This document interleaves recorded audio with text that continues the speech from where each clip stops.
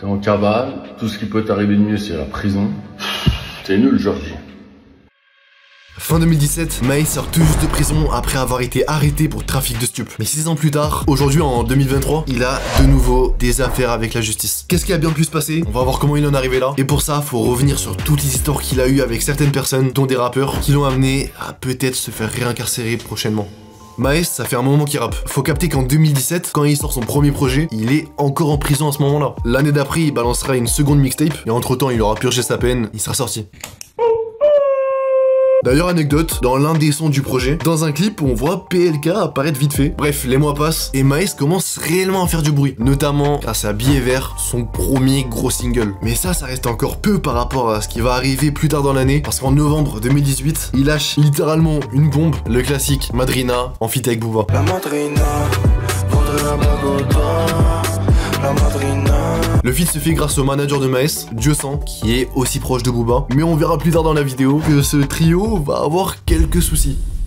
Toujours en 2018, Maes est en plein buzz. Il vient de sortir son premier album, donc forcément il enchaîne les promos. Il va justement passer chez Bouscapé et le journaliste qui va l'interviewer, c'est Yerim Sar. Seulement, ce mec-là, il est trop fou. Il arrive toujours à poser des petites questions qui dérangent et Maes, lui, il va pas kiffer. Pour que vous ayez du contexte, Yerim, il est pas en très bonne entente avec Booba et pendant l'interview, il va justement lui demander Vous êtes plus avec Booba Est-ce que c'est toujours à toi de faire la femme ou vous alternez des fois? Forcément, Maes le prend mal et il va lui casser le nez jamais cette interview sortira. Ouais, il m'a posé une question un peu. Euh, tu me dis, je vais te parler de tout ça. D'accord. Mais si tu me dis pas et d'un seul coup tu me dis, euh, alors comme ça on aime les hommes, c'est ma première interview. Ma première interview. Il est devenu fou, lui, ou quoi? C'est son premier clash avec quelqu'un du rap. Et cette histoire, ils en parlent plus trop aujourd'hui. Yerim a plus jamais eu de contact avec Maes. Et même un an et demi après, en 2020, il y avait une émission sur Move où ça parlait des dernières sorties. Il avait l'habitude d'y participer. Et le jour où ils ont parlé des derniers salopards, il est pas venu.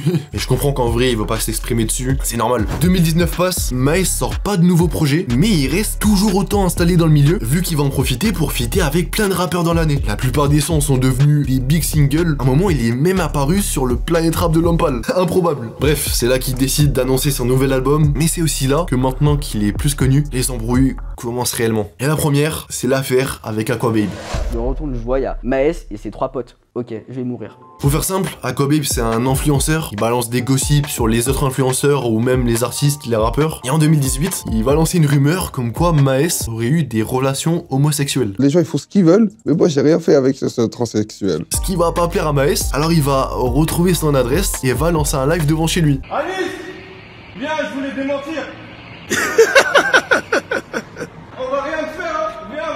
On voit devant la part d'Aquababe en train de l'appeler, mais ça ira pas plus loin. Le jour où il est venu en bas de chez moi, euh, c'était en 2018, le jour où j'ai sorti l'article. C'est l'année d'après, en septembre 2019, que les deux se croisent par hasard. Maes et son équipe l'auraient alors kidnappé pour euh, l'amener à ce rang. Ils auraient séquestré et frappé Aquababe, tout ça en filmant. Au bout d'un certain temps, ils finiront par l'amener à l'hôpital et passeront un accord. Aquababe ne porte pas plainte si les vidéos en question ne leak pas. Tout ça, ça s'est passé en 2019. Au fur des années, les vidéos ont commencé à être partagées entre les candidats de Arrivé en 2022, les vidéos finissent par liquer au grand public. On voit littéralement tout. Aquababe dans la voiture de Maes, puis se faire agresser dans la rue. Il m'attrape dans un coin où il y a plein de tags. Quand il me ramène là-bas, il hurle, mais genre il hurle archi fort en, mode il est là, il est là, vas-y descendez le gun. Genre en mode il voulait me tirer dessus, tu vois. Moi je te dis la vérité, je pensais vraiment crever d'une balle euh, ce jour-là. Hein. Évidemment, allez pas voir ça. Ce qui est important, c'est comment cette histoire va se finir. Vu que tout ça là, c'est encore hyper actuel. Maintenant qu'il y a de réelles preuves contre Maes, la police commence à s'intéresser à l'affaire. Aquababe porte finalement plainte. La justice française prend beaucoup de temps, donc forcément, pour le moment, on connaît pas encore le jugement, mais Maes risque très gros. On verra ce que sera la suite. Bref, on retourne en décembre 2019 pour une autre histoire un peu plus tranquille, moins grave. Gims et Dajou font une interview commune et le journaliste leur demande s'ils connaissent Maes. Rien de bizarre. Maes, vous connaissez? Ouais. Il est bon, non? Ah ouais, t'aimes pas? T'aimes pas? Et toi? Bah... Son DJ est là, hein Non, le DJ doit être très bon. Il bégaye de fou. Au lieu de parler de Maes, il complimente le DJ, ce qui va carrément devenir une phrase culte. Je sais pas si c'est vraiment une ref à l'interview ou juste une coïncidence, mais après ça, on a commencé à retrouver cette phrase dans plusieurs sons.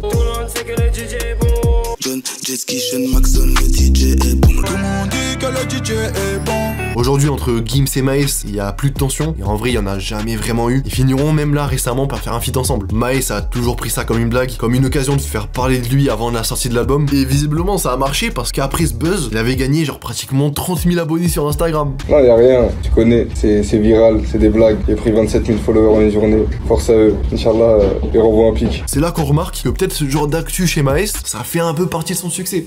En ce moment, je suis amené à pas mal taffer dans le train. Le problème, c'est que le Wi-Fi public est pas sécurisé. Du coup, j'utilise NordVPN qui permet de chiffrer mes données sur ce type de Wi-Fi et être anonyme. Merci à NordVPN qui soutient de fou la chaîne. NordVPN a aussi une protection anti-menace qui permet de bloquer les sites web contenant des logiciels malveillants, mettre en garde contre les virus et les malwares lorsque tu télécharges de nouveaux fichiers, de bloquer les publicités indésirables ou les trackers malveillants. L'autre truc cool avec NordVPN, c'est que tu peux aussi changer ton emplacement virtuel pour accéder à des films, des émissions ou des séries qu'on a peut-être pas en France. Et ça marche aussi quand t'es à l'étranger pour avoir justement accès au catalogue de streaming français. En ce moment, NordVPN organise un concours pour faire gagner une Tesla. Pour ça, faut prendre un abonnement de 2 ans et cocher la case pour participer au concours. Vous avez toutes les autres infos sur leur site. Cliquez sur mon lien pour en profiter. Et merci à NordVPN, on reprend la vidéo. Il y a une autre histoire qui a suivi juste après et qui, heureusement, est pas partie trop loin. Profitez-en parce qu'après, on passe à quelque chose de plus sérieux. Quand euh, Les Derniers Salopards sort, ça cartonne de fou au vu des 3-4 singles qu'il y a dans le projet, qui tournent de partout. 2020, c'était vraiment son année. Et ça tombe bien parce qu'à cette période, une tape 100% Sevran devait sortir. Et on devait y retrouver Maes, vu qu'il vient de là-bas. Mais par contre, bizarrement, Caris n'est pas prévu dans le projet. Alors que justement, c'est l'un des premiers rappeurs de Sevran qui a vraiment percé dans le rap. Ça a fait polémique sur Twitter, et c'est de là que vient le fameux si Caris avait pas mis la lumière sur Sevran. Et dans cette histoire, t'avais un peu deux camps. D'un côté, les rappeurs qui reconnaissaient pleinement l'influence de Caris, et de l'autre, 13 blocs et Maes, pour qui c'est pas passé et qui l'ont clashé. Quand Caris sort son album 270, il y a un son en particulier qui ressemble beaucoup à un ancien feat de Maes. Je suis dans le mal, malgré que j'étais bien. T'es dans le bain, c'est plus moins d'une heure. Et tu te prends déjà pour un tueur.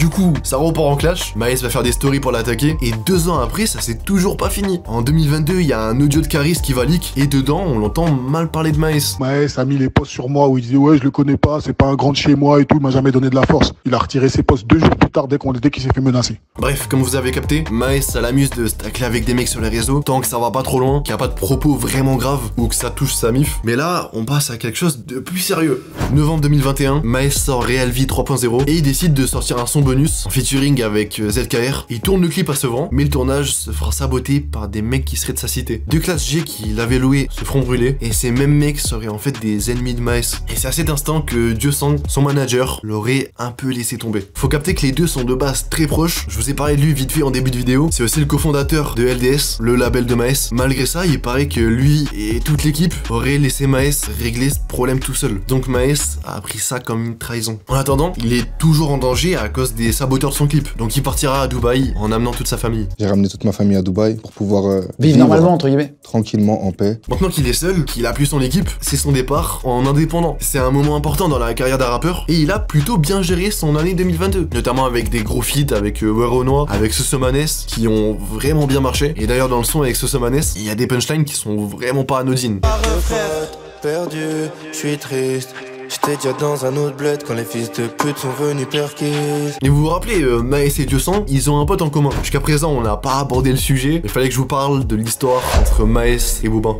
Comme on le sait, de base, les deux s'entendent grave bien. Même plus que ça, Maes, c'était comme son petit protégé. À chaque fois qu'il était en clash, Booba se mouillait et prenait parti pour lui. Et à côté de ça, chaque feat qu'ils ont fait ensemble, c'est tous devenu des singles. Notamment Madrina, qui avait permis à l'époque à Maes de toucher un public encore plus large. Mais quand l'embrouille entre Dieu Sang et Maes a éclaté, Booba a pris parti Sang. Par-dessus ça, ça fait un moment que Maes et Booba se disputent les droits de Pablo, un son qu'ils ont fait ensemble, mais qui était pas encore sorti. Ce qui fait qu'on va les voir se lancer des pics un peu de partout, entre story, tweet. Finalement, en juillet 2022, Pablo finit par sortir. Vu que le feat est maintenant disponible, on pouvait se dire que cette embrouille entre les deux s'arrête là. En plus de ça, on a entendu des audios de Booba en train de s'excuser envers Maes. Ils ont enfin fait la paix, c'est bon. Pas du tout Booba, entre-temps, il est entré en guerre contre les influenceurs et il a notamment tapé sur Maeva Genam, actrice de télé-réalité. Alors un ancien pote de Maes va en profiter pour envoyer une ancienne conversation à Booba. Et Maëva Guélan, il y a quelque chose, hein. Là, c'est quelque chose quand même, pardonne, mais. Sans rentrer dans les détails, on y comprend qu'il s'est passé quelque chose entre Maes et Maeva. Le truc, c'est que Maes, il est posé. Il a trois enfants et il sait très bien que cette conversation peut littéralement détruire sa relation avec sa famille. Il y a d'autres trucs qui sortent, et il fait fuiter d'autres choses, euh, qui mettent en péril ma vie de couple. Où la seule manière où il peut me faire du mal, c'est pas dans la vraie vie physiquement, ça serait euh, des trucs de traître euh,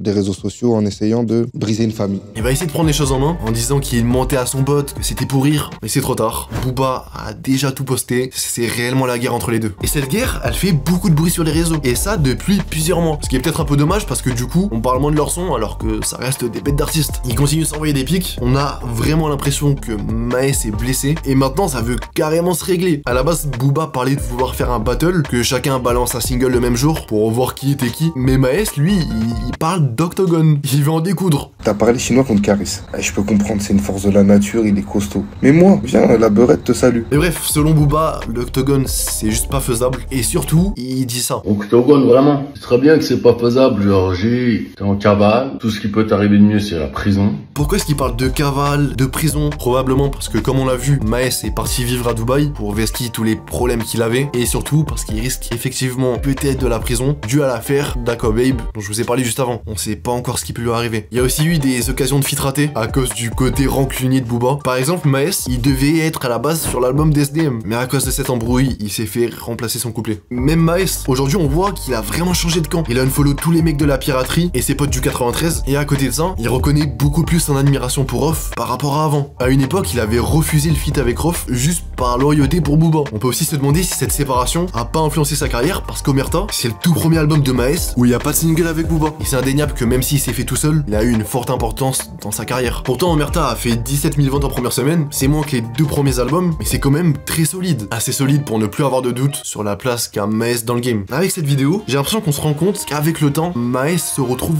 de plus en plus seul. Évidemment, c'est Maes, il est connu, donc il sera toujours entouré de personnes, et là, il est déjà plus avec son manager, il est en embrouille avec Booba, et par conséquence, plus en contact avec toutes les personnes proches de Booba. Et pareil, au vu de ce qui s'est passé, on sait pas quelle relation il a avec sa famille. J'ai pas parlé de certains clashs parce que la vidéo dure suffisamment longtemps. Les refs, prenez soin de vous et de vos proches, et on se recapte bientôt. Ciao.